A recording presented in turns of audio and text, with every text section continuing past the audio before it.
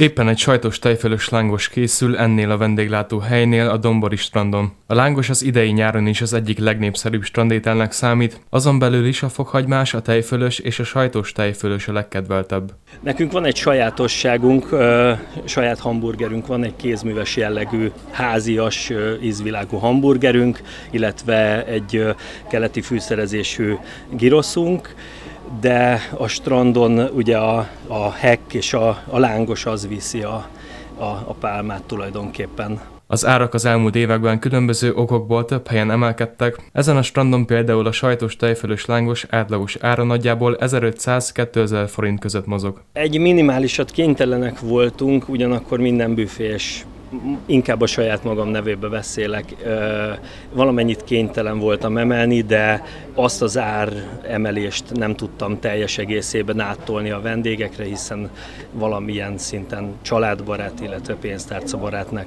kell lenni. Így, így a profitból engedtünk, de a nyitvatartásunk megmaradt. Egy másik büfésnél szintén, ha csak minimális mértékben is, de emelkedtek az árak. Náluk is a lángos az egyik legnépszerűbb étel. Hát a lángos mindenképp, a szibéria burgerünk nagyon népszerű, a girosz, hotdog, főtt kukoricánk is van már, azt is nagyon szeretik, nagyon finom.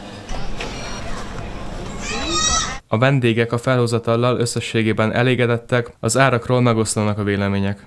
Mm, kicsit húzós, de még belefér a keretbe.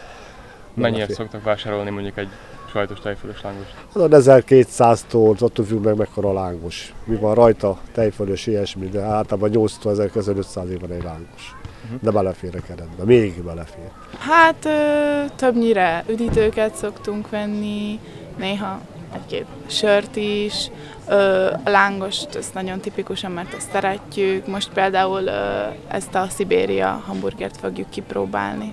Van olyan is, aki kizárólag otthonról házilag készített ételekkel érkezik, ezáltal spórolva a kiadásokon.